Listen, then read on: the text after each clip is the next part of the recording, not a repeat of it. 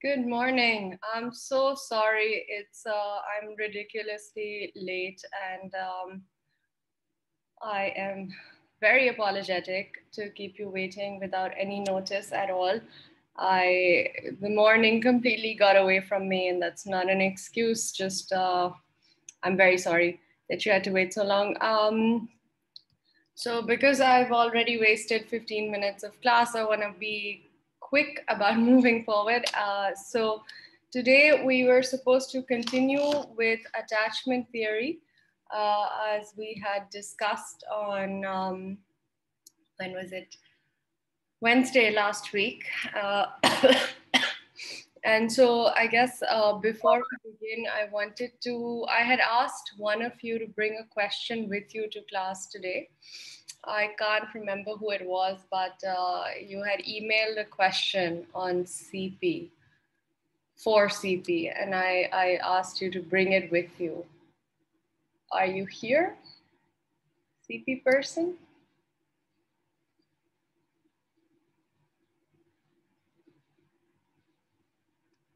Okay, I guess that student is not here right now, but uh, I hope they do join. It was a very good question. Uh, so I wanted to just today let you know that again, I plan to not use a PowerPoint even for our online class just today. Um, and we're gonna do the same thing on, um, on Wednesday. But after that, I'll ask you guys for some feedback and we'll see how well that's working for you, the lack of a PowerPoint, how well that's working for you, and then we can take it from there. Now, uh, what we've talked about so far has been sort of like, you know, we've talked about prenatal factors affecting development, we've talked about a lot of postnatal factors affecting development as well. Um, and in light of, in, with reference to development, we've talked about the development of the brain uh, specifically. And you've learned that from age zero to age three is a very sensitive and very crucial period for brain development. It's one of the most rapid um, periods for brain development uh, in your lifespan. And the second most rapid period for brain development happens during adolescence, which we define as roughly 11 to 18, but it's usually seen as the onset of puberty um, is when adolescence is supposed to start. But the thing is that the onset of puberty varies in different um, contexts. So in particular, groups of people, the onset of puberty is as early as nine or 10 for girls and 11 or 12 for boys. And in other societies, in other contexts, the puberty is seen to emerge a little bit later. So for girls by 11 to 12 and for boys by 12 to 13. Um, and so we kind of use puberty as our sort of um, indication for this beginning of adolescence. But um, everything that happens in adolescence, the development that takes place when you are an adolescent, I mean, all of you are adolescents right now. Um, you're what we would call older adolescents going into what is now known as emerging adulthood. So, previously within um, psychology, up until the age of 18, you were referred to as an adolescent. And then beyond that, you are seen as an adult. But with the recognition that brain development does not cease at the age of 18 and continues to take place until you're about 25, 26. Um, in recognition of that, now you would be known around the age of 20, 21 as an emerging adult. So, this notion of emerging adulthood um, has been introduced to account for this shift, right? To account for the fact that no, actually, your brain does keep developing and you're very much continuing to be exposed to certain influences that affect that development of your brain. So I told you last class that today we're going to talk about a particular theoretical approach to development, uh, which is more sort of focused on, um, let's say, the way that you, generally speaking, see the world, the way that you relate uh, to other people, what your sort of foundational model for all relationship formation is like. So this is a theory that sort of tries to explain emotional development, but also we can use it to understand maladaptive behaviors. And maladaptive, again, refers to the fact that uh, we can use this uh, particular approach to also understand what gives rise to um, pathology or pathological behaviors um, in human beings. This theory is very popular, it's very common. It's called the attachment theory. And um, wait, okay, the question has been asked. So let me just come to that question and then we'll um, and then we'll go into attachment theory. So Arija's question is right here. Um, she messaged it to me. If children are strongly influenced by the environment and what they are exposed to, to what extent does exposure to the media affect the mindset of children while they are developing their ideas and beliefs? Okay, so the question is asking that what is the extent to which the media has an influence on the development of your attitudes, your beliefs, and your values, um, given the fact that we understand children are influenced by their environment, right? So I would ask you to consider this question in light of what we've learned about Bandura's social cognitive theory, that you look at what's happening around you and you think about it. And you think about, well, are these behaviors that will get me what I want? um, and you kind of consider, well, is this something that will add value to my life in a very basic way? Uh, even as a child, you sort of, so it's like if you see somebody behaving aggressively as a child, um, well, no. As a child, if you see someone behaving aggressively around you and you see that this person is censured for that aggressive behavior, you realize that, okay, behaving this way will not get me what I want. So this is not the way to go. However, if you see this person actually getting whatever it is that they want, um, you start to learn that aggressive behavior is the way to go if you want something, right? Because when you look at that behavior and you think about it in terms of the product or the outcome of that behavior, you are seeing that it is something that will give you what you want and hence you will adopt it, right? So remember, Bandura said, you look at something, you think about it, and then you decide whether you want to adopt it or not. Second, the person modeling the behavior or whatever the behavior is, uh, or the attitude is that is being put forward has to come from somebody that means something to you, right? So it has to be a role model of some significance, at least, or some relatability. So uh, the likelihood of you seeing, let's say, something on TV as a child and then imitating it uh, is very common. You see that quite frequently, don't you?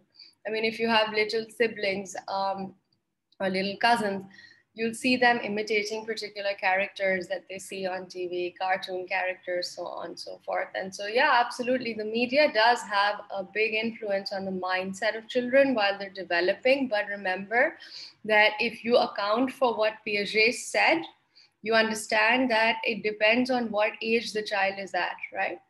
or even if you think through Vygotsky, it depends on what age the child is at and what are the capacities for critical and logical reasoning present in the child at that particular age. So if you were to assume, let's say your question was asking, okay, what is the impact of media on a six-year-old, right? the impact of media is that yeah absolutely the six year old is looking at um, whatever these attitudes beliefs are that are on whatever media that child is exposed to but at six the child is not thinking so abstractly about, oh, what is right and what is wrong. Consider what we studied even about moral reasoning, intellectual and moral autonomy versus heteronomy, uh, considering morality to come from an external authority instead of having accountability for it yourself, right? These are all things we know to be part and parcel of childhood. And so as that child grows older, the likelihood that he or she or they will think through what the media is saying and whether that is right or wrong, or they are able to critically receive it instead of just receiving it, right? Um, from a basic point of reasoning, that that capacity is changing, right? So this is a, the reason I wanted to have this question put to you again is uh, because I couldn't answer it properly last class, but also um, this is a question that ties together all the different stages or the theoretical non-stage based theories, uh, sorry, that you've also studied so far, right? And so whether you consider Vygotsky, whether you consider Piaget, whether you consider Kohlberg, whether you consider Piaget on moral development, right? You start to think through nothing is absolute, when we talk about the mind because the mind is constantly receiving information and the capacity for the mind to understand or let's say how the mind understands that information to make sense of the world that is something that will change over time. Okay? So over childhood that's a very baseline ability and as you grow older it shifts it becomes more complex and that is why for instance you are able to even ask this question that you have asked which i think 10 to maybe even seven years ago, you would not be even asking this question. So, my question to you would be think about why you're able to think about the things that you're thinking about right now, as opposed to like five years ago. So, to answer your question, yes, the media has an influence, but then how much of that influence is, let's say, um, enduring, lasting? How much of that influence is deep seated? all of that matters on the developmental age of the child and also um, what happens to the child once the information has been received right? So if you've ever seen something on tv and then asked one of your parents about it they may have told you no this is not what actually happens in the real world right?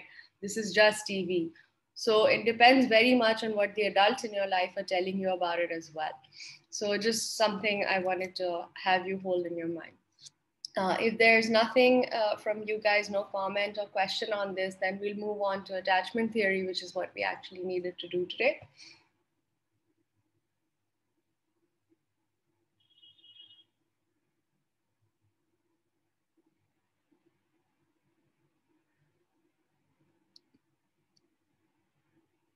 Okay, now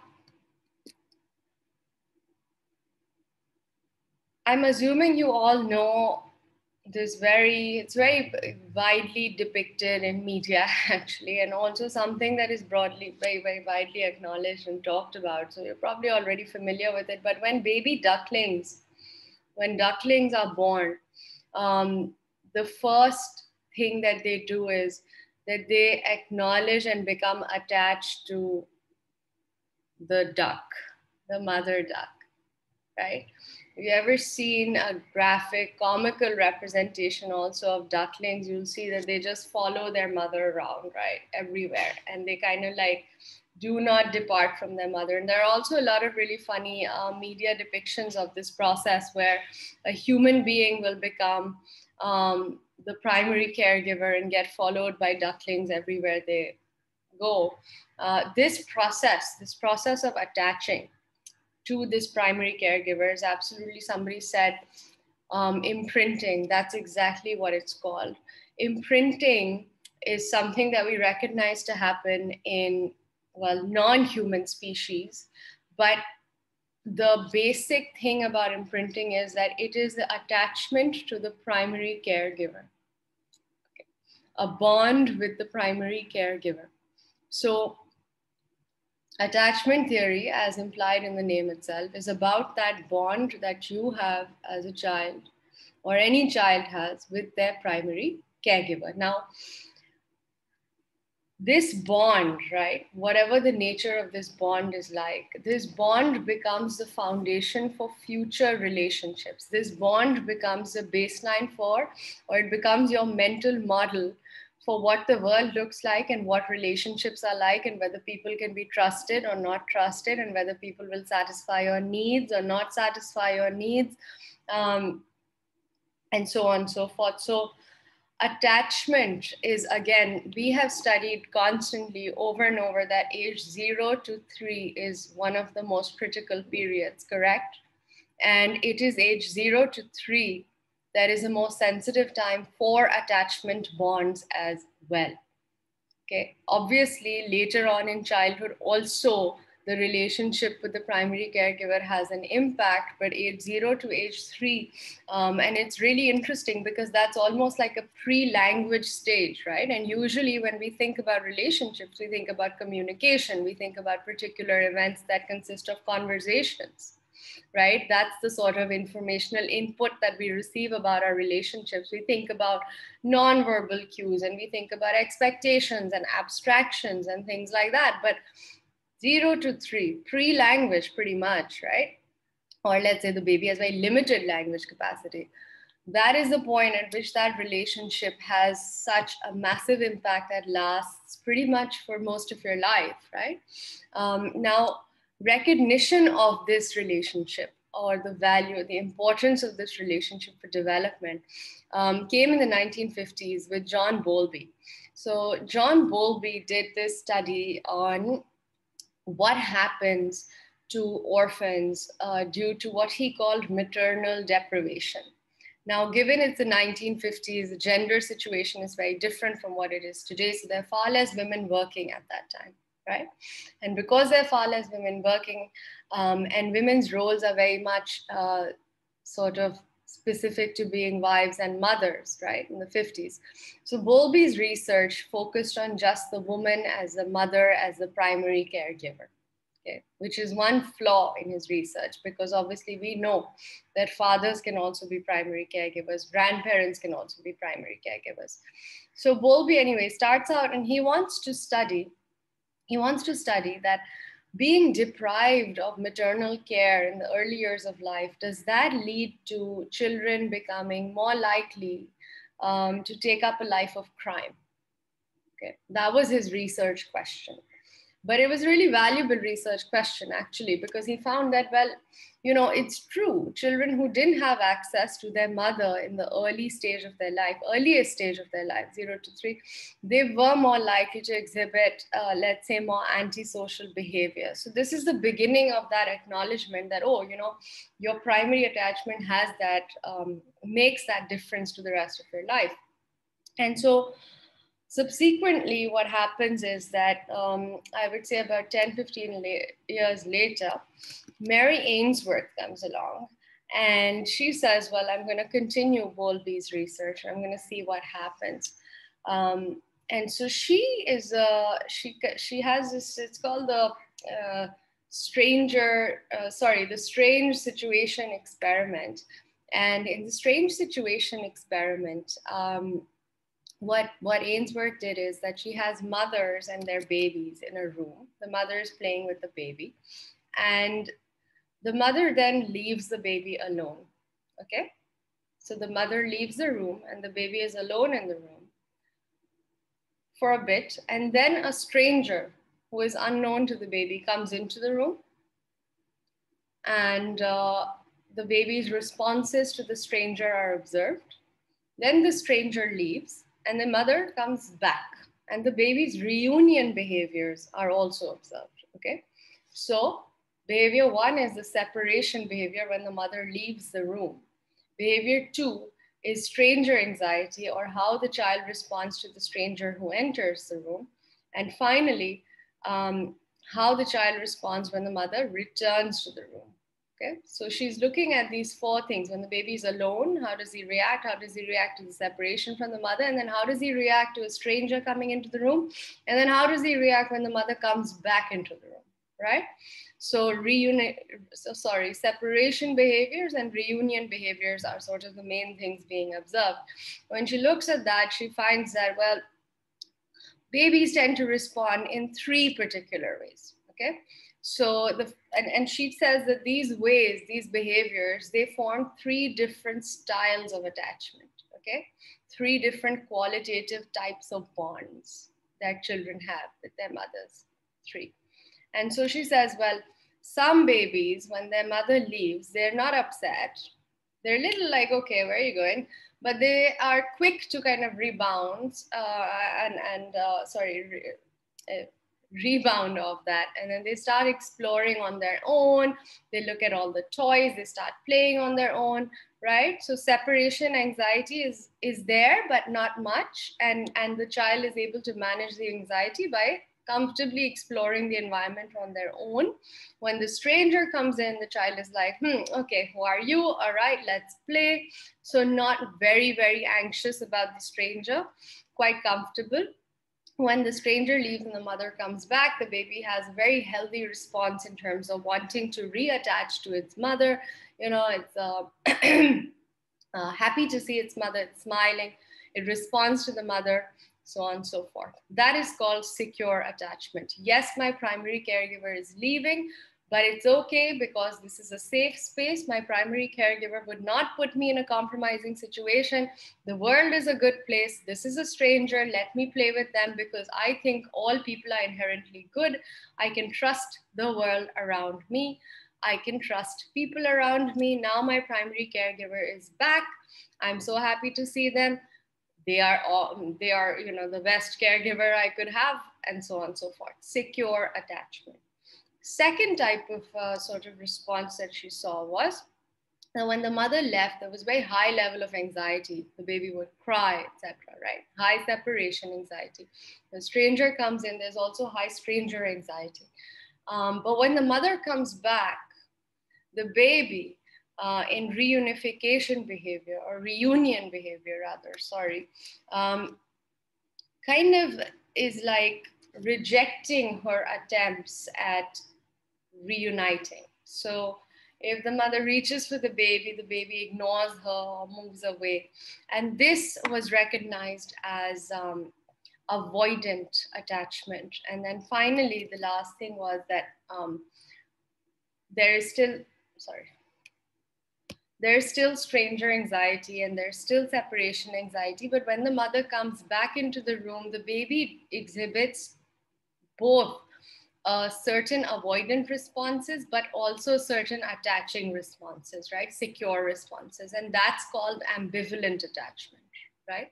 Um, so these were the three key types of attachment styles that Ainsworth identified. But later on, um, she recognized, so well, um, there is actually a fourth style, and she called that disorganized attachment, where there are elements of all three and disorganized attachment is where you are more and it's not as common as you would think by the way.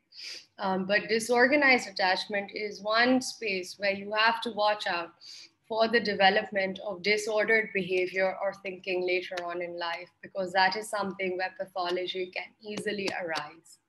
Um, and if you're wondering what the relationship of your earliest attachment to your primary caregiver is to the development of pathology or pathological behaviors or psychological disorder later on in life.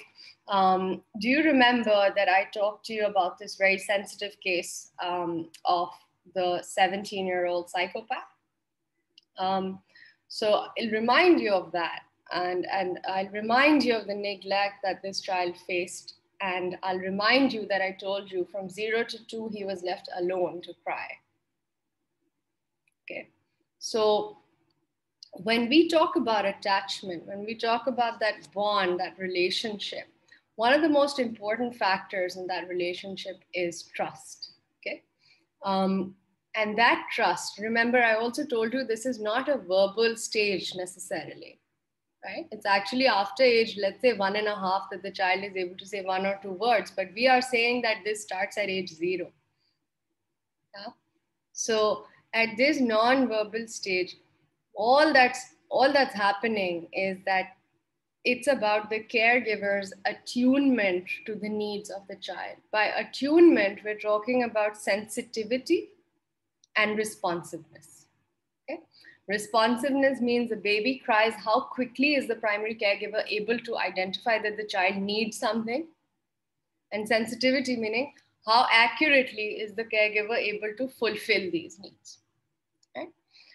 Now, there are obviously situations of deeper neglect and greater neglect. Um, and today we actually have something called reactive attachment disorder, which was diagnosed in children who face ex, um, extreme trauma and extreme neglect. Um, and I, so, so that's not something I can get into detail with right now, but anyway.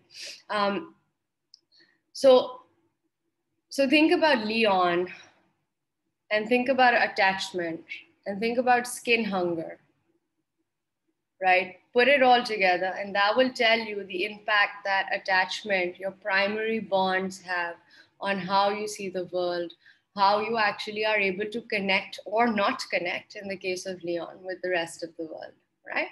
Um, another example I would like to give you, and again, it's a very sensitive, uh, let's say, it's, it's a very, um, how do what's it right? Um, it uh, how do you say like when something is very um, I want to say trigger warning, but I don't like saying trigger warning. I want to say it in a different way, but I guess you understand that this is sensitive and it could bring something up for you. Uh, but I'll, uh, but I, I do need to tell you about this case study. Um, so, so triggering. So this might be triggering. In which case, feel free to mute me, and then you know when I do this, you can unmute me so that you know that it's done. If you don't want to listen, it's fine. Um, so with uh, with sensitive with oof, the case is that uh, this psychologist, the same guy who wrote the notebooks uh, that I told, uh, the the same psychiatrist who was consulting on the case that I told you about earlier, um, he was asked to come in for this four year old child who was supposed to be suffering from anorexia. Okay, four years old. So he goes and he sees this child, and uh, you know, and she's on, she's being fed through a drip uh, and all the doctors uh, present are saying that, look, you know, we've looked at all elements and we've been feeding her and we've been doing this and that, but she's not gaining any weight. She was like 30 pounds, four years old, you know, severely underweight, like life threateningly so. And so the doctor's there, the psychiatrist, and he's looking at the child and she's, she's in this situation um, and he sees the mother and the mother is very present and she's right next to the child. And you know she's talking to all the doctors and she knows what's going on and she's the person who's actually brought this girl in uh, her daughter into multiple hospitals to get her checked like she's a concerned and engaged parent right? Um, so the psychiatrist talks to her and she says i don't know. I feed her properly but like she doesn't seem to gain weight i'm not sure what the problem is you know um, and they've checked her for all sorts of physiological conditions disorders diseases and she doesn't have any. So they're unable to figure out you know what is happening. And so over time through interviews through observation the psychiatrist he learns a little bit about the life of the mother.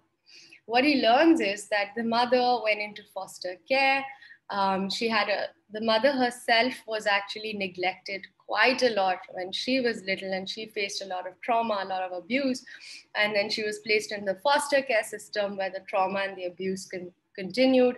Um, and eventually as a result or i guess through part of that trauma was that she was assaulted and the product of that assault was this child. Um, however uh, the mother had experienced one positive event, which was that after all of her negative foster care experiences, she had found uh, this one home when she was an adolescent, an older adolescent, uh, which was actually safe and actually warm and actually welcoming and she lived there until she was 18 from when she was 12 to till she was 18 so that point of time is when she was you know well taken care of and she had like a safe space and she was fed well and she was taught manners and how to be in the world and how to live in the world etc However, the foster parents couldn't adopt her because after 18, um, if they adopted her, they couldn't be foster parents for anywhere else, which is the law in the US. Um, so they couldn't adopt her. And at 18, she was out on the street again. And it is at this point that the assault occurred, and then she had this child. So the psychiatrist receives all this information, right? And he says, well, that's that's a pretty strong history, a very traumatic history, right? So so let me look more into this. And he notices one thing. He notices that the mother, so concerned about her child, so um, connected in that sense, right? Knows what's happening with every single test, every single report, etc., etc. But the mother, she never picks up her daughter. She never holds her daughter. She never hugs or kisses the way that many parents you see, all parents actually mostly do it, right? They'll talk in baby talk to their babies or they'll kiss their children, hug their children, touch their children right? A gesture of warmth. So he notices that this is not happening. And what he does is that, uh, again, he's worked with so many children who have gone through trauma and abuse. So he's very well aware of like different homes and services that look out for these kids. One of these homes and services is called Big Mama's House, right? So he goes to her house and he says, Look, I want you to come with me to the hospital and I want you to meet this mother and this child. And, uh, you know, she comes, she sees them, whatever. And when the child is discharged, um, and they again they're taking care of the child's physical needs right? So they're still drip feeding her and they're making sure she just survives but she's still not gaining weight and she's still losing weight. So they're really worried. It's a life threatening situation. So he takes the child and the mother to big mama's house and and the first thing she does is that she hugs the mother and she hugs the child and she starts over time and she's working with the psychiatrist on this right? And over time through this um, just simple touch right? She'll hold she'll hold the child she'll hold the mother. Over time what do you think happens to the child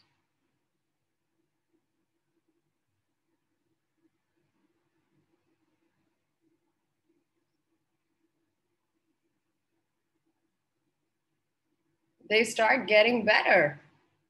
They start recovering.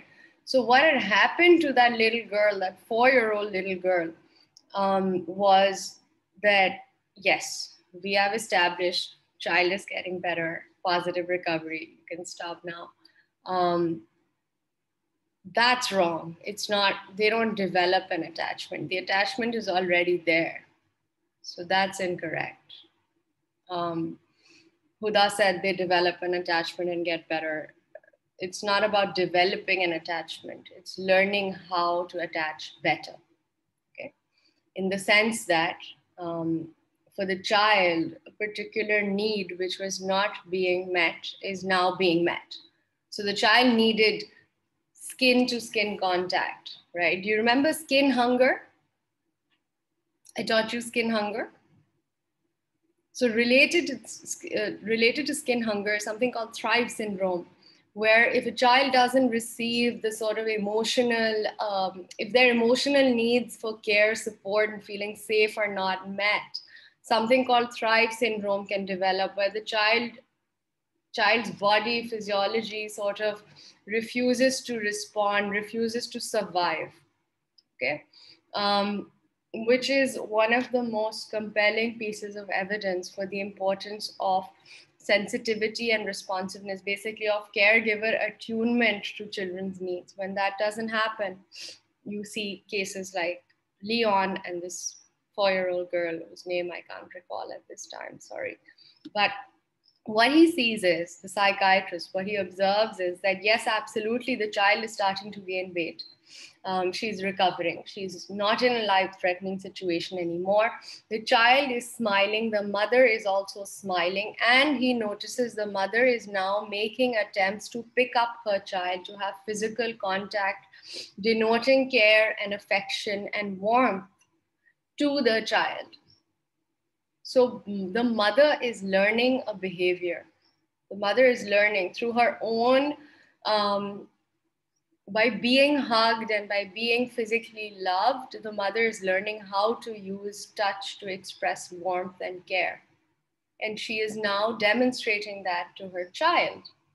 The child is responding to that because that was the need of the child that is not being met, had not been met, right? Skin hunger. Now it's happening. Um, and so, you know, everything is good. Now, Fast forward 10, 12 years later, he goes for a follow up visit about a decade later. And uh, the child is about 12 years old, and the mother is obviously older as well. And he sees that, you know, they're both doing really well.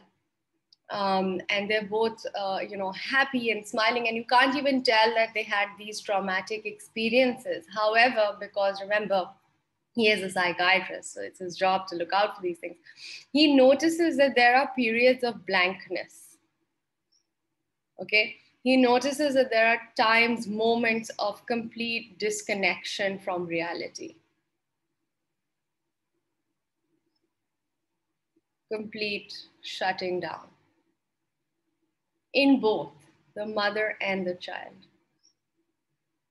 So remember, developmental trauma has a very lasting effect. So, this disconnection, this blankness, this is coming from the fact that at the end of the day, from zero to four, there was damage done. And some of it was not reversible. So you can go through the actions, right? And some of those actions will have an impact, you know. But how much impact? Can, can you reverse developmental damage? That's the question, right? We know that you can't reverse trauma. You, you just have to deal with the effects of trauma, which is what this psychiatrist did in this particular case. Um, so, coming back to attachment theory, uh, disorganized attachment can very well form from a situation such as the one I just described to you. Okay. Um, there's a particular thing that we call it's called reactive attachment disorder. That's an attachment directly related to disorganized attachment. It can arise. Um, i'll talk a little bit about how to manage trauma at the end of class. Uh, so hold that thought please. And i will absolutely tell you a little bit more about therapy throughout the course as well. Um, but the periods of shutting down in the mother and child are basically periods where the psychiatrist noticed that even though they were laughing or responding or talking, they weren't fully mentally present in that situation the way that, let's say, somebody who had had a healthy developmental trajectory would be. Okay, and I'm not saying somebody normal because I think that normal is an awful word um, I don't think that normal is a good word to use when we talk about any sort of psychological condition because, um, well, I, I disagree with it. So, so, but at the end of the day, this is how he was able to identify those periods of shutting down where there's still a disconnect. And if you know anything, if you've ever studied anything about trauma, you know that excessive trauma does lead to dissociation, somebody very rightly pointed out, or disconnecting from your environment, separating, right? So you're there, you're responding, but you're not actually there have you ever had that experience after, let's say, a great, and I'm sorry, the sensitive question, don't answer it, but it's a rhetoric, rhetorical question for you, something to maybe think about that. You know, if you've ever experienced a period of extreme stress or bereavement or grief you might be in a situation where you're responding to everybody around you and you're doing everything. You're eating your five four meal three meals sorry a day and you're you know taking a shower and you're doing this and doing that. But you're not actually when you look back on that period of your life you don't remember anything about it. You might remember flashes but you don't really know what happened you know because you weren't actually there. That's what happens when we're in a traumatic situation. We kind of tend to shut down. So that's sort of what he was talking about, Bruce Perry. Um, all right. So can I, do you have anything from me right now that you need?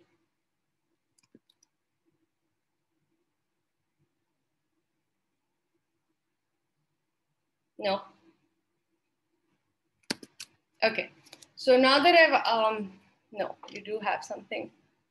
Um, the Gies study, yes, Okay, attachment is not reversible, but sorry, I have a, I have a question I need to answer.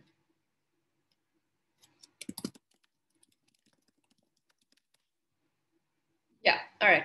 So attachment is um, an attachment style once it's there.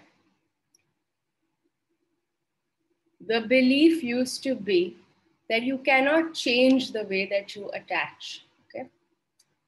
So attachment styles are, and I'll give you the definition of attachment once again.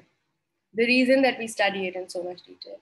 The attachment that you have is sort of like your prototype for every relationship that you will ever have. Okay. It's your mental model for relationships that's where you know fundamentally at a human level human to human level your attachment style affects whether you trust people whether you think the world is worthy of exploration and trust and joy um, if you think the world is a good place or a bad place are people inherently good or people inherently awful? What how you think about that, right? Are you worthy of love? Are you worthy of care? Are you worthy of support? Are you worthy of friendship? All of those questions we answer using that primary mental model, that primary attachment. Okay. So, obviously, there are long term effects. And the original belief was absolutely that just like imprinting, attachment also cannot be changed. So, whatever your attachment style is, that is what it will remain. However, we now know that you can get help for it and you can fix it.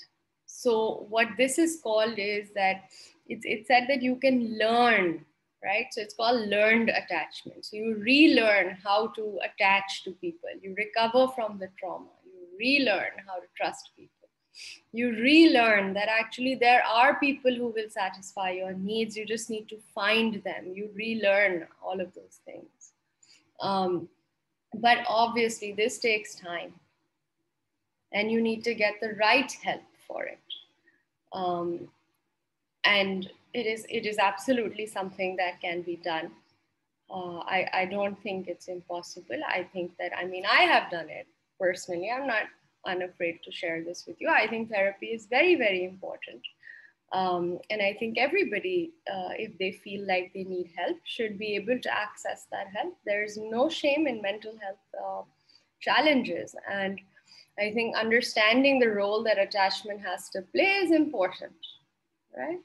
Uh, and so, yes, you can. I wouldn't say again, I don't like to use the word reverse because when you say, you know, can you reverse uh, disorganized attachment or can you reverse trauma or can you reverse this negative process two things happen one you're also kind of you're well firstly uh, again you're falling into that trap of absolutes the human experience is too diverse to be able to be reduced to a yes or a no okay. second problem is that when you say, can this be reversed, you are discounting how much effort or how much hard work this person has put into their life to manage and work through that trauma. You're implying that their history isn't worth accounting for. But part of the human experience is that the pain, the suffering, if everybody wanted to have a happy life, we would all never grow, right? Because it's actually when you have the most discomfort that you grow the most. And so this is a very adorable cat. Can we just can we just take a moment for this cat? I think this has been a very heavy class. So I would like you to I, I would like you to show this cat to everybody and also please tell us the name of this beautiful cat don't be embarrassed i have five cats and one dog and i'm and, and that's why one of the reasons i was so late today is because of my dog but um yeah please what's his name her name his his name is zeus and actually today is his birthday so he's a happy year old Happy birthday. Okay happy birthday yeah. zeus. Um, very cute. He's beautiful. Uh, so thank you for that light comedic relief from this very intense uh, lecture. So so anyway so I think that it's important to account for attachment, absolutely. And uh, there are people who will say that it's not as important. My perspective from a research point of view is different, and I always emphasize attachment a lot. Oh, it's Zeus, not Juice. I said his name wrong. Sorry. I'm sorry. Okay. Um, so coming back to, or rather wrapping up attachment theory. Uh, Key takeaways. Key takeaways. Remember, I told you Bowlby only focused on the mother as the primary caregiver because of the situation or the sort of societal context that his research was in. So, yes, um, later on, Schaffer was the researcher who added that no, actually, it doesn't matter whether it's the mother or the father or the grandparent because it is not necessary that the mother is the primary caregiver for a child. A grandparent or a, um, a father can also be the primary caregiver. Okay, So attachment, that primary attachment does not have to necessarily be with the mother. It can be with anybody else who is the primary caregiver. Primary caregiver is defined as the person who is primarily responsible for satisfying all the needs of the child at that stage of life. All right. Now, while Schaffer was introducing this notion, and between the time that Bowlby introduced his theory, uh, this uh, other experiment was done, which will also sort of solidify everything you guys have learned so far. And it was um, it's a very popular experiment that I'm sure you've heard about. It was conducted by this gentleman named Harlow, and he had a cloth mother and he had a wire mother, and he had baby rhesus monkeys. Have you heard about this experiment? No? Okay. So in this, okay, so I want, all right, cool. So why don't, if, if you've heard about this experiment, why don't you tell me about it? Because it's related to skin hunger, it's related to the touch story that I just told you. Huzefa, go ahead. अच्छा तो इसमें एक बंदर होता है मतलब ठीक है जो कि यकीनन न्यू बॉर्न होता है और उसमें एक एक वायर्ड मदर होती है, ठीक है, जिसके पास फीडर होता है और एक क्लॉथ होती है मतलब जो ऐसा कह सकते हैं कि ज़्यादा कंफर्ट वाली होती है। तो फिर वो मतलब लेकिन जो मंकी है वो मतलब फ़ीड करने के लिए उसके पास जाता है लेकिन अक्सर जो है वो दूसरे के पास रहता है जो कंफर्ट वाली होती है जो जिसको और जब उसको कोई डराता है कोई इस तरह करता है तो वो फ़ौरन क्लॉथ वाली मदर के पास जाता है ना कि फीडर वाली Yeah, that's correct. So there are two. There's a wire mother who has a feeding bottle, and there's a cloth mother. Okay. Uh, and by mother, it's like basically wire structures. One is wrapped in soft fabric, and one is not. Okay, and one is just a bottle, but they're both meant to serve as models of two types of primary caregivers. Okay, and the researchers noticed, and their perspective was, their perspective was that the baby monkeys will bond with the wire mother over the cloth mother because that is where their sustenance is coming from. Right? This is their source of survival. So, this is where they're going to go. But that's not what actually happened. And the very fact that that's not what actually happened tells us that there is more to simply feeding a child, even at that age zero the child needs more from their primary caregiver. They need touch and warmth and support, physical um, bonding. Right. So again, think through skin hunger, etc., etc. So Harry Harlow's experiment, uh, I think it was Harry Harlow. I could be making that up. I just remember last names now at this point. But Harlow's experiment teaches us that there's more to being a primary caregiver than simply making sure that a baby is fed.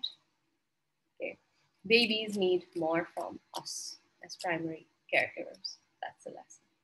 Um, and, and okay, just a couple of things in the chat box. So absence of either parent can't be filled by the other. That is very true, very valid. Um, relationships with, you see, you can't treat your relationship with your parents actually. So you, the way that I think about it based on everything I've studied is you have absolutely a relationship with your parents together, right? And then you have a relationship with your parents as individuals. And we also have to account for the fact that family situations are varied and diverse. Okay, there are blended families and there are single parent families and there are, you know, um, families where there are no parents as well. And in all of those situations, what is, I think, on a personal level, the way that I look at, well, I guess the way that I look at human human beings is that we are so and i keep saying this to you right? And i might sound like a broken record and i'm sorry about that but again the human experience is so diverse. Everybody's experience of the environment is so unique um, and there are particular things that i don't think we choose okay? So i don't i mean some things just happen to us and some things we make happen and i think i'm possibly completely losing you right now, but I guess let me bottom line it for you. Um, what my bottom line is that every family situation in terms of composition is different and diverse. And as children, your experience of your parents is not, it doesn't happen in a vacuum. The older you get, the more you recognize and realize that your parents are also, at the end of the day, people with their own flaws, right? With their own set of issues, with their own challenges. But when you're little, you don't know any of those things, right? Remember, right early in the class, we were talking about how the way you receive the world depends also on what your capacity to logically think about the world is. And so, your relationship with your parents um, doesn't happen. It's not a, it's not, I would say that that's something that shifts and changes over time, but the individual relationship with either or each of your parents, that's something that will really have an impact on you. But again, like the relationship between both your parents also matters. It matters whether both your parents are in the picture, only one of them is in the picture, or if both your parents are in the picture, what is their relationship like? All of these things have an impact on you and they also have an impact on how you see yourself and the world around you having potential for trusting relationships and i'm using the word parent here very loosely. I'm i'm talking about your primary caregivers because at the end of the day if a parent is not in the picture for donkey's years um, the absence of the parent has had an impact on, on, the child, but the parent has not had an impact on the child because the parent has just not been involved, right? So there's so many different nuances you have to think about, which is why I always tell you guys that when you're asking a question, ask yourself, does this require a yes or no absolute answer? Because in psychology, these absolutist notions are, are inappropriate because the human condition is one of diversity and change and shifting, right? So we identify patterns, but we can't set things in stone, right? So if something bad happened to you, um, you may think that you will never recover from it. You may think that it never happened to you. You may think that it don't happen to you because you are bad, which is not the best way to think. So please don't think about that um, or if you are thinking about it, that's not, you know, you need to find help somewhere because we are all worthy and we're all good. Um, so summing it up, I suppose, uh, as you can tell, I'm very passionate about attachment, uh, primarily because I spent a large part of my career working with young people who have suffered greatly because of disrupted attachments. Um, and so this matters to me greatly. But anyway, um, secure attachment is absolutely the healthiest. Look, I'm not going to say ideal. Ideal is the wrong word. Secure attachment is the healthiest way to attach. Okay. Um, I have a question for you. I have a question for you. Piaget talks about object permanence the ability to know that something is still around even if it's not in your line of vision. Piaget talks about object permanence. What's the relationship of object permanence to attachment? Is there one? Can you find one? Are, are they somehow connected?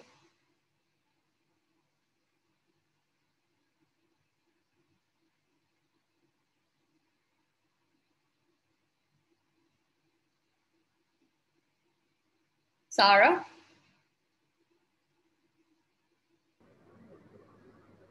Um, Unmute yourself. Yeah, go ahead.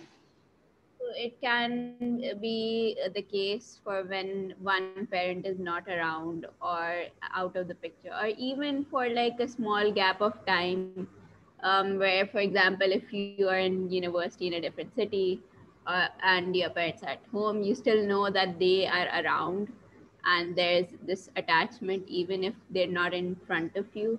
There's this bond and if they're absent or out of the picture then you wonder what, about that bond and it has an effect on you. Yeah.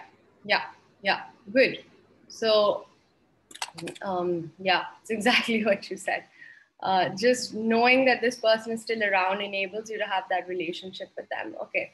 Uh, Naval, then Umema, and then I don't know, somebody else had raised their hand, but they lowered it. So Naval, go ahead. I also feel like when uh, grow, like during like growing up, if a parent is not around and there's a, like an extended period of absence, I feel like the way it translates to adult relationships and friendships, I think that individual will start believing that there's not going to be a long-term relationship um, with another individual in their life. So they'll probably start um, uh, either they'll stop trusting people to stay in their lives for an extended period of time and maintain the friendship or relationship they never had growing up, or they will, as a coping mechanism, try to push people away. So before they get left, they're the ones going to be who are going to leave in the first place. Yeah.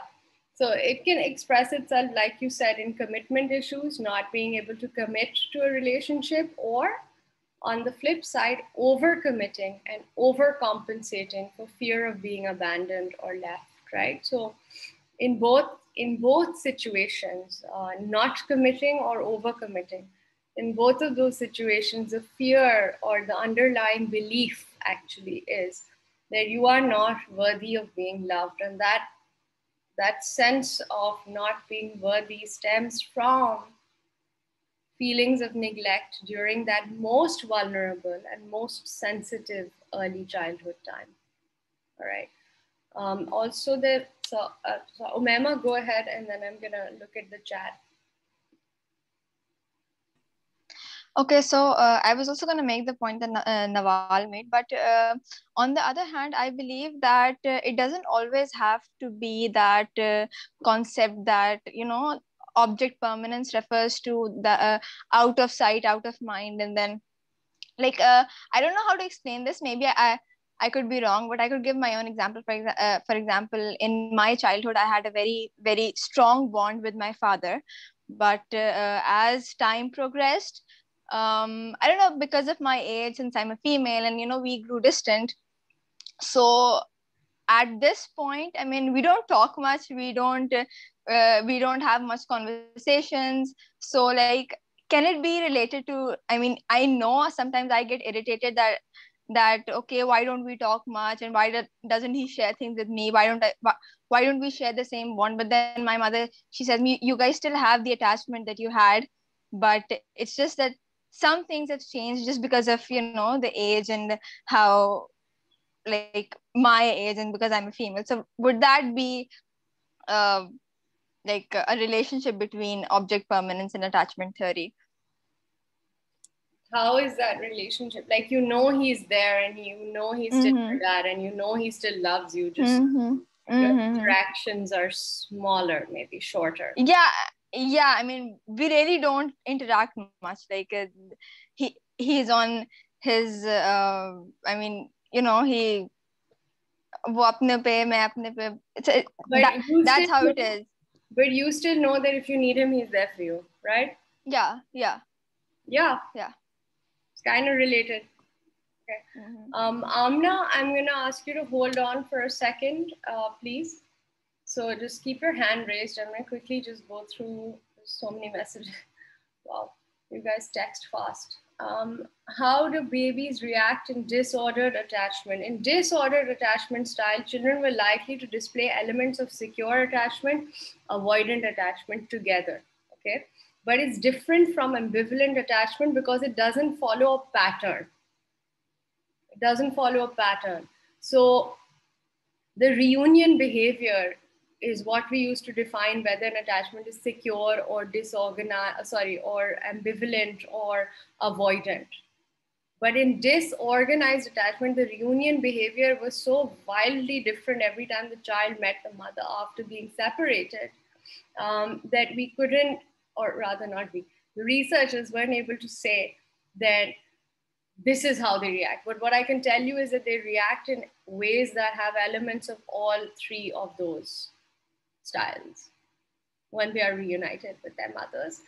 anxious attachment is not actually, I would see it as not, well, it's not a thing because at the end of the day, it's anxious attachment is what you can associate with avoidant attachment. Okay? But all attachment has a level of anxiety, which is separation anxiety from the primary caregiver, which is why I would say that we can't really say that, you know, avoidant attachment is anxious attachment because actually ambivalent attachment is also anxious attachment. It's also coming from place of high separation anxiety, high stranger anxiety, right? So, so that would be my response.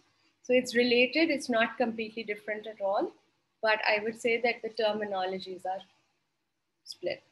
Um, I don't know what this is, and you can never overcome your attachment style. I already mentioned you can learn to have healthy attachments. Um, not sure what this is. If the attachment is evolved, we are still aware of what it used to be. Yes, absolutely. Um, it can be relevant when the mother leaves for any instant separate from your parent. There's permanence that stems from your attachment with parent. Yeah, you still know that your parent is around even if you can't see them. Um, people isolate themselves from relationships. People blame everything on themselves. That's called having an internal um, sorry, having an external locus of control. Um, well, actually, no. Yeah, yeah. And then this may be a, sorry. Mm -hmm. Okay, so it's a question. I'm just gonna say it. Uh, it it's uh, direct to me. Um, this may be a question some people wouldn't be very comfortable with, but do homosexual parents' children show a different type of attachment as to those with opposite sex parents? Um, no, because at the end of the day, I talked about the primary caregiver, and Harlow's experiment also further proves that it's not about having a, um, um, a mother that breastfeeds you, right? It's about providing both nourishment and love and warmth and touch and skin. And that can be given by a father or a mother. So it can be given by two mothers and it can be given by two fathers. I don't see why it would be a different type of attachment. I do feel, though, that children with homosexual parents are likely to face a great deal more trauma in terms of bullying from intolerant peers and their intolerant parents. Uh, that's what I would say. Uh, can children forget their mothers if they are around shortly after their birth and then shortly afterwards they aren't around? Will there always be an instinct in the child that will pull them toward their mother? Um, so, adoption shows us that at the end of the day, um, the biological bond, yes, is there, and yes, it's important, and yes, it means something to every child. But